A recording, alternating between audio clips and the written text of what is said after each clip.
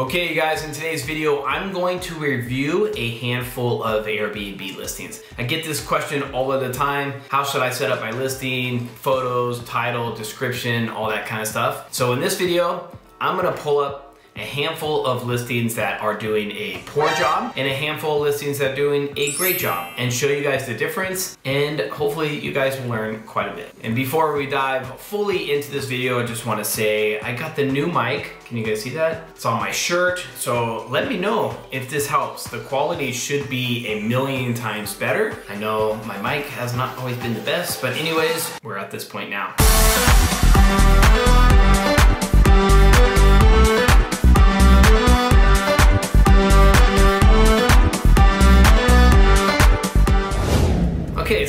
Couple things. I'm an official Airbnb ambassador. So what my job is, is to help new hosts join the platform. So my responsibility when a new host who's never been on Airbnb before will join Airbnb, I will guide them through captions, how to write a good title, description, I'll review all their photos and help them go live before they go live. That way, a lot of less errors and whatnot. This is 100% free. Airbnb picks up the tab. So if you are a new host, sign up with the link below. The reason why I explain that now is because I've looked at thousands and thousands of listings and I study this all of the time on trying to figure out how to optimize my listing, how to get more bookings, etc. I'm always learning as well, just like you guys are. Airbnb is constantly changing. There's a friend of mine, his name is called Optimize Danny. You guys should check him out. He's pretty much the leader in the game when it comes to optimizing your listing. I have learned insane amounts of information from him. I'll link his information below, but if you want extra help, if you already have your listing live and you're just not getting enough bookings or you're getting the wrong type of guest, reach out to Optimize Danny. He'll help you reorganize your entire listing and um, get you more bookings. So a couple things that I have learned in thousands of guest hosts and multiple listings at this point. So one important tip outside of this subject is don't 100% rely on Airbnb for everything. You might want to get on some other platforms. You might want to think about direct booking. I'm actually building out a full direct booking website right now with my boys over at Boostly. So you might want to check that out. But anyways, let's jump into a couple of top tips for when you're building out your listing. First and foremost, you guys, Obviously, location is gonna play a huge role in it, but let's take all of that kind of stuff out of it and let's just focus on the listing itself. So a couple things, title is back. So yes, you still want an important eye-catching, grabbing title, clickbait title, whatever you wanna call it, and still your first five images are going to be everything. Your first image is gonna be the most powerful. Is that photo standing out? Is it grabbing attention? Is it different from all the other listings in the area? You're gonna have to make that decision. Do you need to get professional photography? Probably. 99% of new hosts don't do this. They don't get professional photography and that will help you a ton. And we'll dive into the difference between professional and just an amateur photo as well. Then you want to go into each category. So there's the space, which is a little section. Most people only fill out the space. Write a little story, a couple little sentences, list a couple major highlights. Then there's a section called optional space. It is 100% not optional.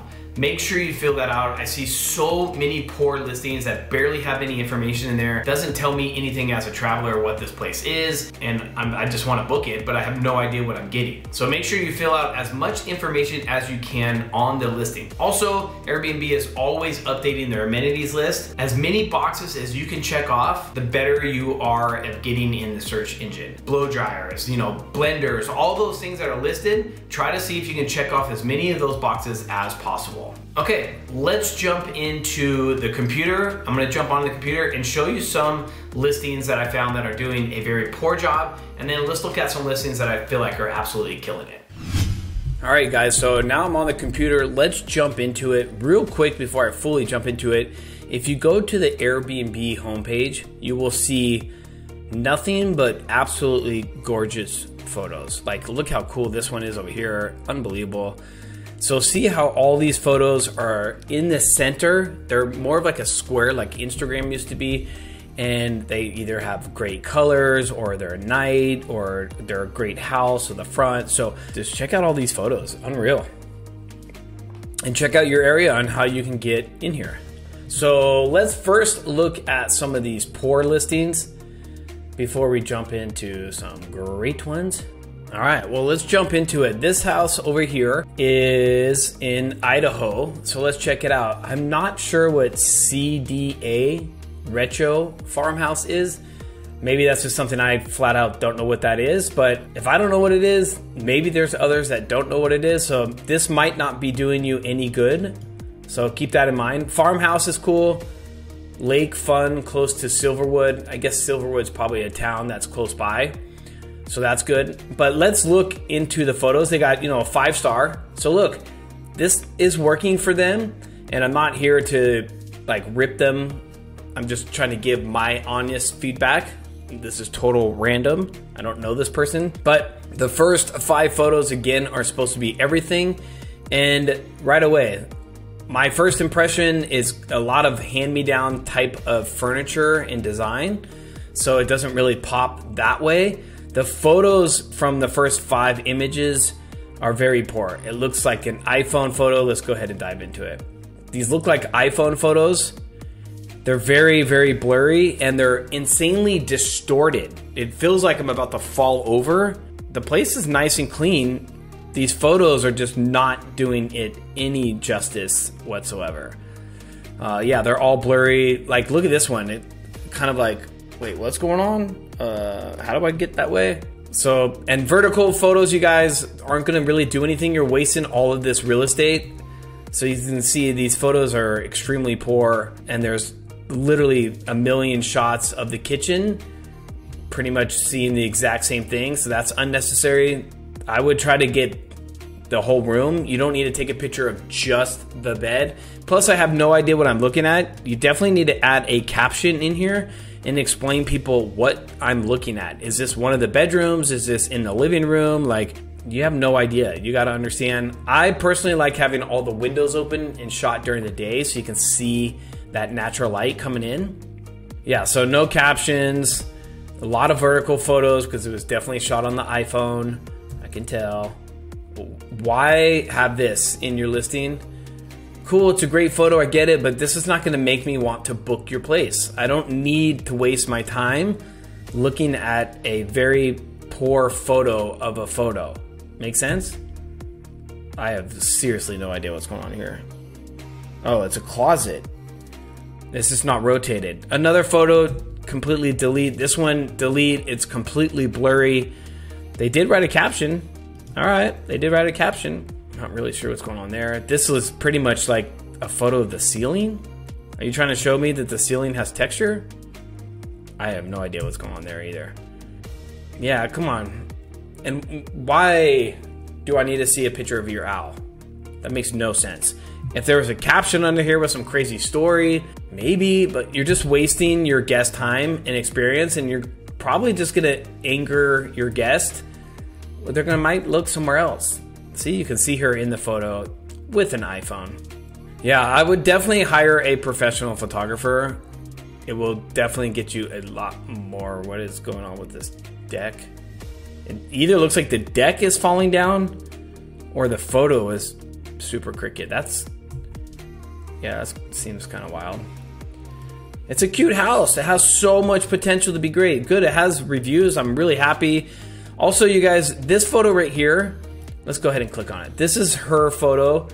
Um, it doesn't show her face. It has no description in her bio of who she is. A lot of people could think this is spam or a fake account because it's not filled out. You know, granted, she has an ID and email and phone put in there, but no person or brand logo or anything like that. So, very skeptical of what is going on here. And then again, very, very, very basic information filled out here. They didn't take the option to filling out more information. I see this all of the time. You guys are wasting so much energy by putting all this together and then just not filling out your listing complete. So I would definitely add more options. Let me know what this place has, list out some of the amenities, which I'll show you some really good listings and how they spell that out. All right, I think we've done enough on that listing. I think you guys get it. All right, let's check out this listing out here in Colorado. James, I actually helped James a little bit. Uh, cheerful lakeside two bedroom townhouse near everything. What? That's an interesting title. cheerful. I'm not really sure what that means. Lakeside is something I would definitely put in there because I can see the lake. So I would have lakeside be the first. Two bedroom, again, you're wasting valuable marketing because two bedroom is right here. So now you're just wasting the guest time and you're also wasting your time. A townhouse, maybe, but it also says entire townhouse right here. So again, you're kind of just wasting your time. And near near everything. What does that even mean? Near everything. That doesn't tell me anything. Like, are you claiming that Disneyland's next to you? You got the pizza place next to you, a bar next be a little bit more descriptive. Maybe you want to say like lakeside, you know, near the city, walking distance to shopping. Can you swim in the lake? Maybe you want to say something, go swimming in the lake. Anyways, the title needs a lot of work for sure. And then the first five images, again, need to really tell a story. One thing I do like is he has five images that are different. Um, these two are a little similar. This one at the top is really dark. So I don't like that because it's really kind of hard to see. This as a cover image is not going to do you any justice. Why not get a drone? Hire a photographer, get a drone since you're on a lake and get a shot that's a little bit more pulled back. That would be freaking awesome. Guarantee you would get more bookings. Let's jump into his photos. So yeah, his photos are iPhone. He did put some captions. Okay. But could you imagine also, I always like to be a little careful about putting the address uh, in my space. Just FYI. Yeah, so all these photos are extremely poor. They're on an iPhone. A lot of them are vertical, some of them are horizontal. I think if you hire professional photographers, again, again, I say this all the time. Yeah, so it's it's just a basic listing, which is fine. I think these type of listings are going to get hurt the worst when it comes to all this climate that's going on, you know, the Airbnb changes, guest traveling, inflation, recession, all this news, I think these type of listings are going to get hit the hardest at this kind of price point. These are a lot more like budget travelers. Again, he barely filled out any of the space, didn't take the time to write down other options. You should definitely do that. I think what happens in this also, you guys, when you're building out your listing, like they Airbnb tried to simplify it when you're building your listing. So if you're brand new, you might not even know. But when you go and hit publish, it gives you a ton more options and settings. So when you go publish, I always recommend going back into your listing and making sure you check off all these boxes. That way you can find out more options to write more, you can check off way more amenities, all that good stuff. So if he would just go in here and write a lot more in there, like, you know, he's got super fast Wi Fi, all kinds of good stuff in here. I think he can list that out and get a lot more bookings. Yeah, I mean, he's got a five star review, so he's doing something right. People like it. You can definitely keep improving on this, you know, keep up the five star. Even if you have a perfect five star, there's always room to improve because $99 is pretty cheap. So maybe eventually he can get it up to 120, 130, right? And find that sweet spot. So work on this listing, James, and then um, yeah, let me know how it goes. All right, let's jump into the next spot. I'll do one more of these not so great listings, and then we'll jump into some good ones. Okay, waterfront. So if you're to be advertising waterfront, so on the title you're advertising waterfront, I would definitely have the main image be a waterfront, not the living room. That doesn't make any sense to me. I've been to Corpus Christi. It's actually really beautiful. Used to live in Texas. And I like having it say with a boat slip. I would definitely take out condo because look, it says right here, condo. So you're wasting space. Take out condo. Doesn't really give you any justice. Uh, sunset view. I don't know. I don't know how I feel about that. I think you can get more creative with that. So definitely work on your title. Since titles are coming back, I would definitely work on the title. Let's go ahead and jump in here to description first. Almost, very close. Still, she wrote some stuff here, not too bad. Probably can add a few more things here. But then she started to write stuff in the space, but in this space is where you can list on the water. Uh, can you swim in the water? Can you boat? Can you kayak? Can you rent stuff? Do you have smart TVs? What kind of beds do you have? Like, this is where you can start filling in all that information. You were close. 68 bucks a night. Like, I get it. That's a great, great value. Um, but you always want to improve. How can you increase this nightly rent a little bit? Let's jump into some of the photos. Again, definitely shot on an iPhone. It's very blurry, no caption, so I have no idea what I'm looking at. Does this boat and paddleboard come with the house? You know, and just basic kitchen. You don't need, definitely don't need three shots of the exact same thing, pretty much. These photos are, again, very, very crooked. Get professional photos, people. Holy moly. I don't need to see that many shots of that kitchen. I have no idea what's going on here. This is really blurry, bad quality. There's tons of room for improvement here. Again, if you're gonna shoot it on your iPhone, I made a video on how to shoot it on your iPhone. It does somewhat of a good job. This is, again, horrible photo. The quality is just really bad, so that's probably why you can only charge as much as you are. Two reviews. Let's just check out the reviews since we haven't yet. Cozy condo, nice canal. Okay. So maybe you can use some of the stuff that people are writing a caption about. You know, steps away, canal, and by the pool, steps away. So maybe you can put that in your listing. Let's jump into some good listings.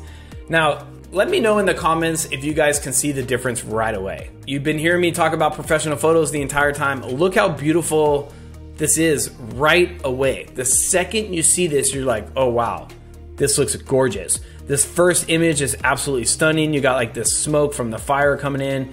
Got the lights on. It's shot in twilight. It's definitely professional. You got an awesome drone footage that shows the lake. This one probably could be switched out because I kind of only just see the roof. Um, and then you got this cool hot tub. And then look at this. This is the house. Great title. Hilltop. It has a theater and a spa. See how he's bringing in stuff where as a guest, I'm like, ooh, theater? That's cool. It makes you want to click. It makes you want to click. And that's important. So now let's look in here. He writes a nice little description. I'm a big fan of not too much copy but sometimes you definitely need to add more copy. I still feel like he can add more copy here and you know, just list out a couple of the amenities, put some bulletin points in here and really list that out because it looks like it's a great space and he's charging almost $700 a night. Um, so maybe list that out. Let me just check out the reviews real quick. Okay, so he got kind of murdered on one of the clean, but who knows? It could be one guest with issues I've had this happen before where everything's always been perfect and one issue and a guest goes nuts on the review and it just damages your entire thing. So everything else seems perfect. So I would probably say that's probably the case. And then look at these photos, you guys. The photos are absolutely gorgeous. Like, can you guys see the difference here? It tells a story, it sets a mood, it really drags you into this listing just absolutely gorgeous. He did, I mean, these photos are insane. Very, very good styling, very good design. Now, this is where the direction of Airbnb is going, I believe. I think they're really trying to highlight these type of listings and they're trying to get away from the mom and pop throw up some old furniture, bad design, all that stuff. They're definitely trying to push towards more of these listings. So I feel like he's going to get a lot of push from Airbnb. Also, I love the photo, him and his wife, I'm assuming. It's cute. It shows me that they're real people. You can see in here, they yeah, it's his wife. And they wrote like a nice description. I love that. Well, this goes to show he's an entrepreneur, photographer, and videographer. See, he's a professional. That's why everything looks amazing. And he has other listings, so I can check out his other listings. Very, very, very cool. Good job, Mr. Sam. All right, this other listing I found when I was, I always watch Levi's videos. Levi does a review on Airbnb listings, mostly like very unique tiny homes. I'll put his link below. Levi is an amazing guy, does like the most insane videos. And you can learn so much by watching his videos. He does these tours. So if you're an Airbnb host, definitely go check out his channel and subscribe. So let's see, modern treetop villa with a dip pool See, I don't know what a dip pool is, but I have an idea. Makes me want to click. And a rope bridge? Like, what? That already sounds so cool. 33 reviews. It's in Texas. So great title. Definitely, I love these first five images. This one right here is a lot of trees, so it's kind of hard to tell what's going on. That would be the only one I would maybe replace. I feel like you can definitely get a better drone footage. But let's look. Wow, these are cool. And they don't have any captions. Surprising. Yeah, this photo is a little blurry or like pixelated, so I would definitely, yeah, I would not have that photo in here. I'm really shocked they don't have any captions. Such a cool place. Yeah, the photos look a little, they're amazing quality. It just, on my end, it looks a little pixelated. I'm not sure why, but look how absolutely gorgeous this place is. Everything oh my gosh, it's so awesome. It's a beautiful, beautiful place, but as you can tell, I can still see some room for improvement.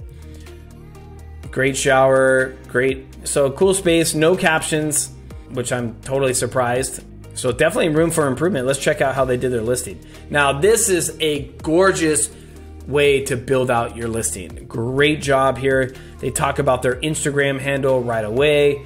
And then look, this is what I've been talking about from day one. List out the stuff that you have. I love putting it first. This is great, great, great, great, great. Good job.